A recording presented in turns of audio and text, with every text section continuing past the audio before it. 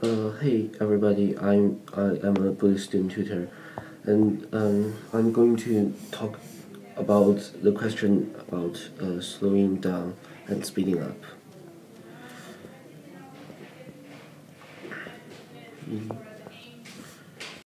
Okay. Um.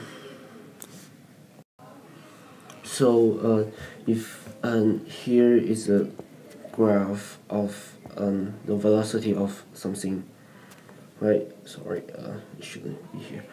Okay um so, um so when do you know it is speeding up and how do you know it's slowing down?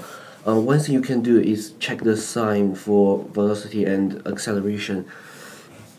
So um, take this part of the graph as an example. In this part the velocity is positive right? Because if this is a velocity graph um, it's above it's above x axis so it's positive.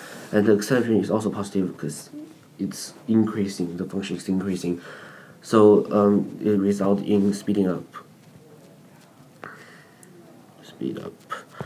And uh, so um, same thing um, same thing goes for this part. Oh oops uh,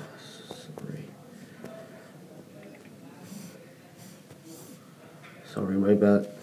Uh, same, same thing goes for this part of the graph. It is also spinning up because the velocity and acceleration is all positive. And um, there's another case of speeding up is here. In here the velocity is negative right because it's um, below x-axis and the acceleration is also negative. In this case the object is also speeding up. It speed up so um, how, so uh, here in this region and here in this region and here in this region because the velocity and the acceleration doesn't have the same sign so different sign. So which means the object is slowing down.